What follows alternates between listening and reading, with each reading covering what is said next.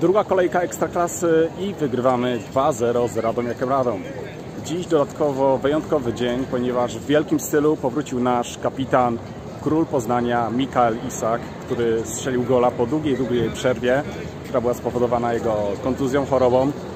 Była to wielka przyjemność, żeby zobaczyć wreszcie Mikaela na boisku i jak cieszy się z gola, zresztą po bardzo, bardzo ładnej akcji z Dino Chociciem, który tak samo zasługuje moim zdaniem na bardzo duże pochwały, choć mógł trochę się bardziej postarać przy wykończeniu akcji. Moim zdaniem mogło się nawet skończyć jeszcze wyższym wynikiem, ale ogólnie bardzo mi się podoba jak e, Dino wskoczył do składu, jak powiedział zresztą o nim nasz trener.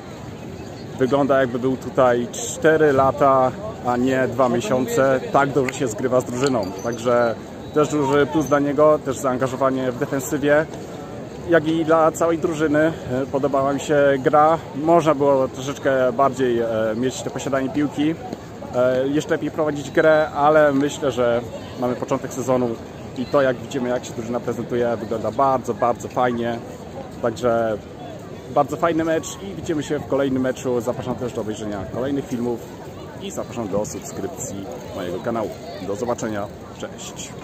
Dodatkowo w przerwie meczu drużyna naszych juniorów U19 odebrała puchar za zdobycie Mistrzostwa Polski e, w juniorach w Centralnej Lidze Juniorów, także wielkie gra- gratulacje dla chłopaków, to jest nasza przyszłość i wielka duma.